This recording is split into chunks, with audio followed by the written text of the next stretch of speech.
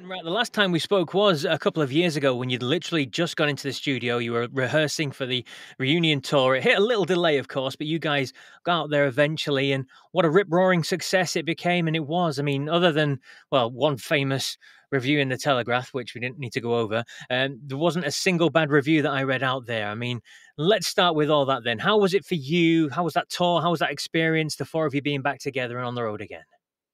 Um, well, it, it was very mixed at first, and I think if there hadn't been money on the table, it would never have happened. But when once we kind of started, there was a there was always a thing in the Damned that each individual thought they were the best one in the group, and that that actually kind of was still there. Every you know, nobody wanted to let the side down. If you, it, it, probably a better way of putting it, and um, it kind of once it became obvious that everybody was you know going to go for it it was you know and i hate using phrases like that go for it because it sounds like shit but everybody was quite determined to make it work and i think everybody wanted it to be good and it was uh you know and and it kind of the band took over again because it was uh you know the the money became less important and the fact that everybody got on and we all kind of kissed and made up and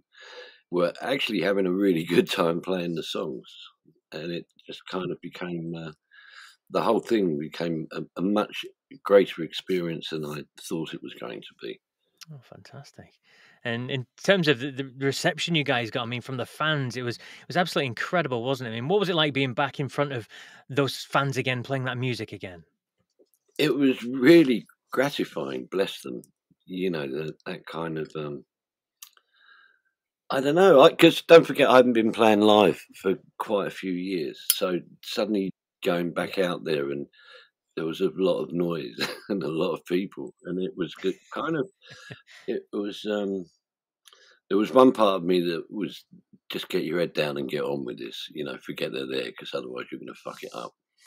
But then the other thing kind of came in a you know everybody was sort of determined to enjoy it and i think that that kind of and that you know that always pushes the band along anyway when you've got people that aren't you know that aren't afraid to let loose and have a good time a guy called Vermilion Gecko from YouTube.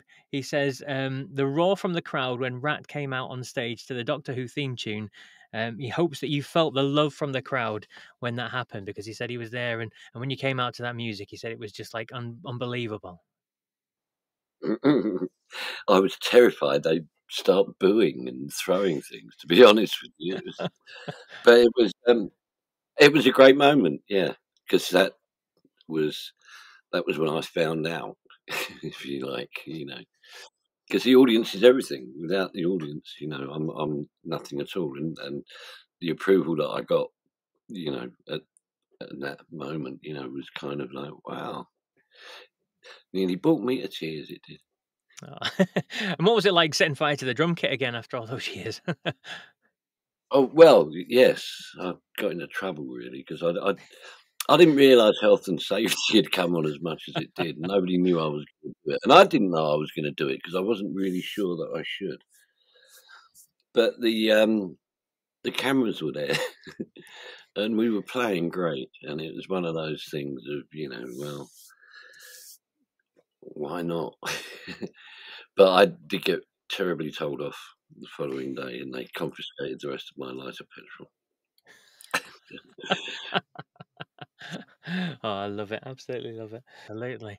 Uh, I think the last time we, we spoke as well, you, you, had mentioned that you didn't want to be looking over a grave and thinking what could have been. I think that was your actual words. So now that you've done that tour and you, you've been together, do you, do you consider that that's done now? Is that the itch scratched kind of perhaps, do you think? Or are we going to see something similar again in the future?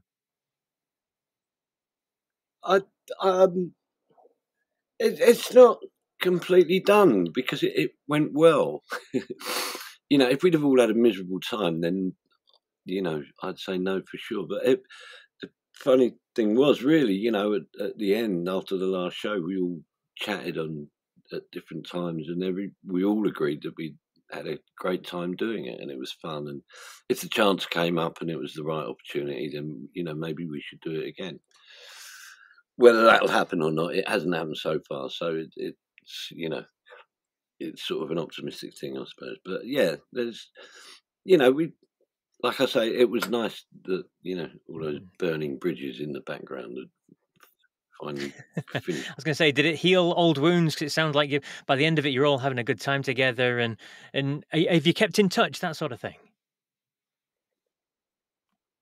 Yeah, to a degree, we are. We, you know, it's uh, that the, the guys have been real busy, you know, because they've been yeah. they had their new album out and obviously they want to promote and tour and do everything like that. So that, you know they've been out on the road quite a lot, so I haven't really been in touch with them directly. But you know, management and tour manager and people, you know, just sort of staying in touch and yeah, who knows? Who knows? Who knows? So, in terms of that that tour, then, I mean, what's your overriding memory from it? What do you take away from it? What's the one thing you'll you'll look back on?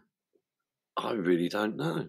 Because the whole thing was, you know, really worked. it was kind of like everybody knew what they were supposed to do, from the road crew to the people at the venues to the audience. It was kind of everybody was on the same page. It was, and I think, you know, that's that's kind of what I remember. What I remember most is just the whole thing as an overall experience. I suppose was, you know, that that that was a big lump to swallow, if you like.